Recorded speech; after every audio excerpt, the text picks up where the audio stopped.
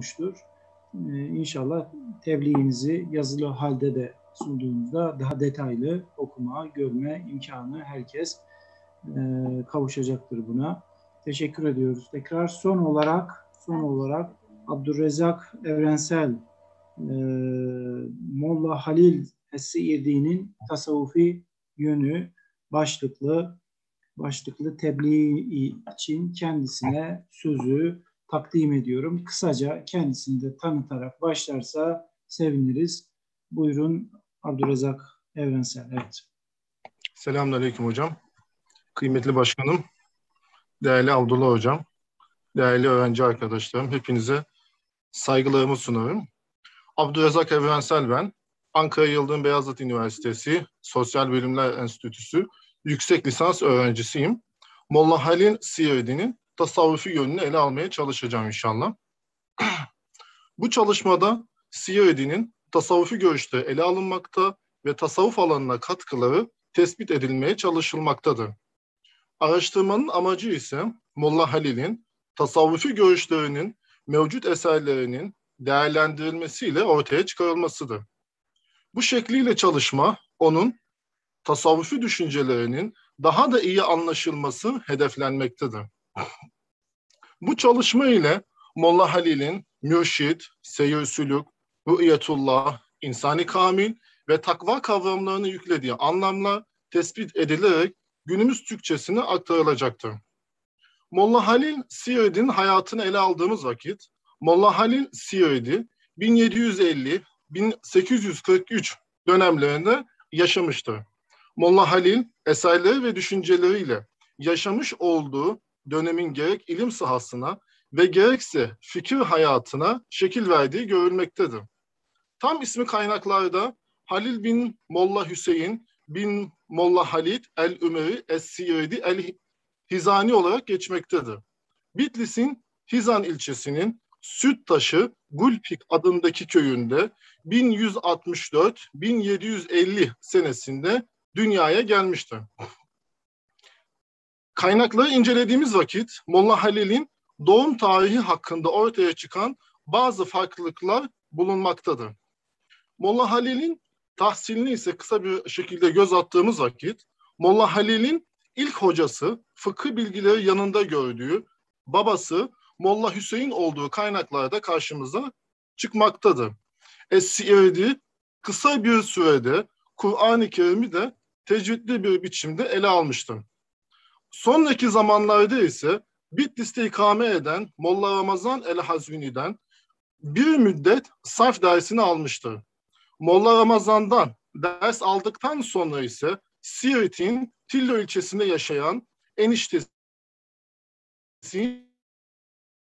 Molla Ahmet el-Hafız'ın yanında da okula Molla Abdülhadi el-Arvasi'nin yanında mantık kitaplarından olan Mukaddimat adlı eserin tamamının Hoşap'ta hocası olan Molla Hüseyin el-Hoşabi'den ise Şerhü Şemsi adlı kitabı ders almıştır.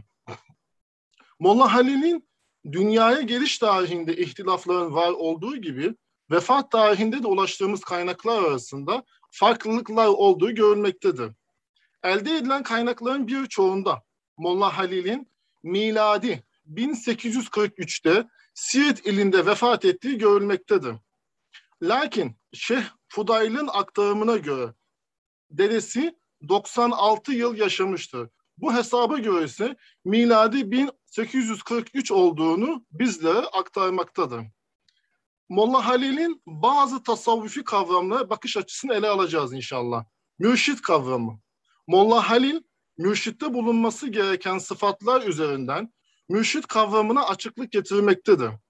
Siyed'in aktarımına göre arif olan şahsiyetlerin dışında hiç kimse irşat faaliyeti görevini üstlenmeye ehil görmemektedir.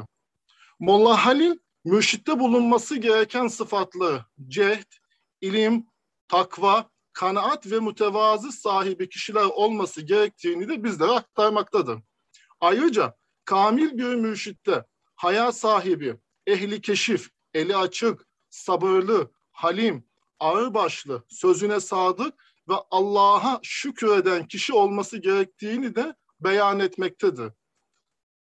Ve yine mürşidin sırdaş olması, güvenilir olması ve güzel huylu olarak tevekkül eden, nefsine hakim olabilecek bir makama ulaşmış olması gerektiğini de biz de Molla Halil aktarmaktadır. Molla Halil'in mürşitte bulunması gereken hususiyetlere açıklık getirmektedir. Mürşit, cemaatine vermiş olduğu terbiye ile müritlerini tehlikeye girmesini engellemektedir. Mürşit, etrafında ona bağlılık gösteren kişilere kötü söz, cidal ve tartışmalardan uzaklaştırarak onlara her ne durumda olsun dua etmek gerektiği bilincini aşılamaktadır. Bu nedenle mürit daha da kaliteli ve İslam'a uygun bir hayat sürebilmesi için mürşide kamile gereksinim duyduğunu Molla Halil bizlere aktarmaktadır.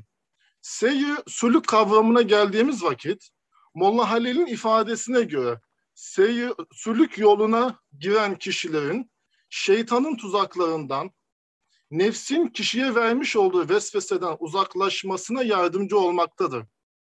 Mürşit, müridi şefkatiyle yaklaşıp müritte bulunan hastalıkları tedavi etmeyi amaçlamaktadır. Molla Halil'in düşüncesine göre salik bir yolcu gibidir. Salik'in yapması gereken hakka giden yolda bir sebat gösterip o yoldan ayrılmaması gerekmektedir. Molla Halil'in ifadesine göre seyir sülük anlayışında mürit Allah'ın dışında var olan her şeyi kalpten çıkarmak şekliyle bilincini yeniden olgunlaştırarak nesnelerden uzaklaşarak ilahi zevke ulaşabileceğini bizlere aktarmaktadır. Kalpten Allah'ın dışındaki her şeyi çıkarmak amaçlanmaktadır. Rü'yetullah kavramına geldiğimiz vakit ise Molla Halil Allah Celle Celaluhu dünya gözüyle görmenin mümkün olduğunu ve akla aykırı bir şey olmadığını aktarmıştır. Akıl Allah'ı görebilmesini tefekkür ettiğinde bunun olağan bir şey olacağı sonucuna ulaşmaktadır. Zira insan aklı mevcut olan her şeyin kavranabileceğini ve hatta görülebileceğini kabul etmektedir. Bu haseple Allah Celle Celaluhu mevcudiyetini kabul eden her akıl onun görülebileceğini de kabul eder manasına gelmektedir. Molla Halil'in beyanına göre aklen bir şeyin kavranabilmesi yaratılmış canlılara has kılınmıştır. Yaratılmış canlılara has olan bu özellik Allah Celle Celaluhu atıf edilmesi düşünülemez. Zira Allah Celle Celaluhu insanoğluna görme yetisi, koklama, hissetme ve birçok yeti vermiştir. Bu sebeple Molla Halil'e göre Allah Celle Celaluhu görmeyi aklen mümkün görmektedir. Lakin her ne kadar aklen mümkün olsa bile görmenin oluştuğuna dair kesin bir delil bulunmamaktadır. Sadece Hazreti Peygamber Efendimiz Aleyhisselatü Vesselam'ın Miraç hadisinde pardon estağfurullah. Kameranın yanına başka arkadaşımız girdi. Kameranı sadece kendine dön, dönder. Tamam hocam.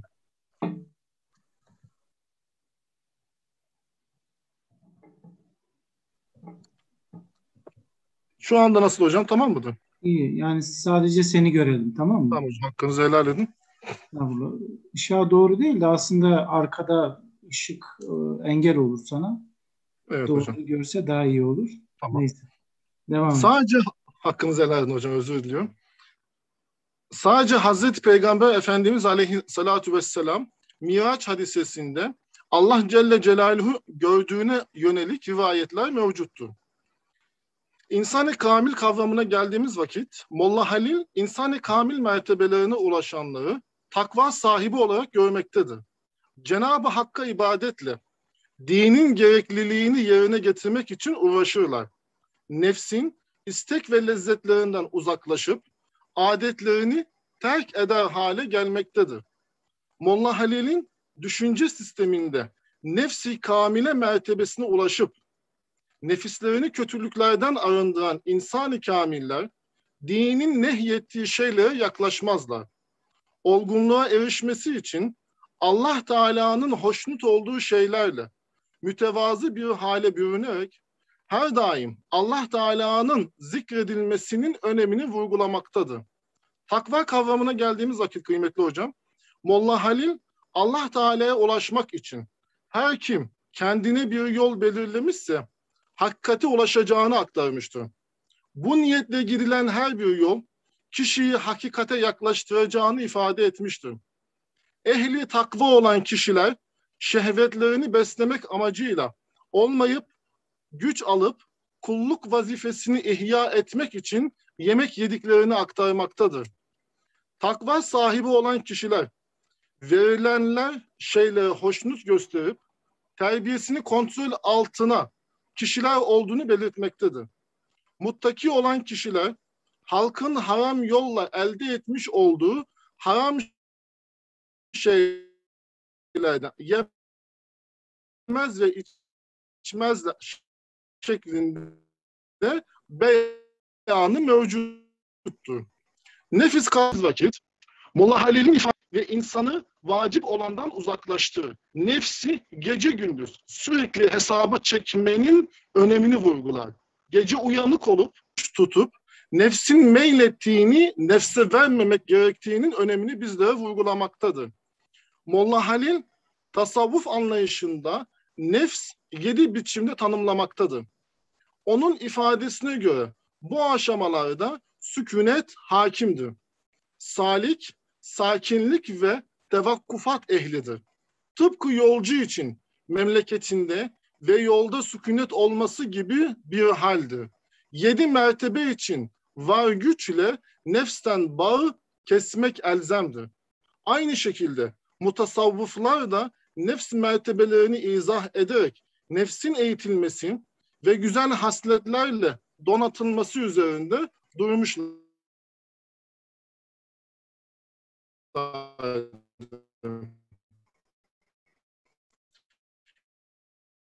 Sütlarının nefs doyumsuz olduğundan zorluklardan ne kadar çok ızdırap duyarsa duysun, arzulara karşı ihtirası çoğalır ve sonunda kendi çöküşünü hazırlamış olur.